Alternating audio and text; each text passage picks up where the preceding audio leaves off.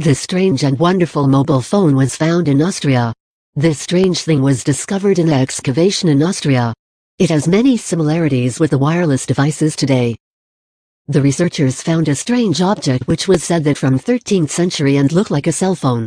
These objects are looked similar to cell phone, especially the first one in the market of mobile phone. This discovery was surprised when these objects were black and also have keyboards with letters same as Iraq or Iran's. The expert of UFO, Daniel Muñoz, explained that the similarity is remarkable even so he declined to indicate this object is a cell phone. These objects are considered out of time, just as many others have been found.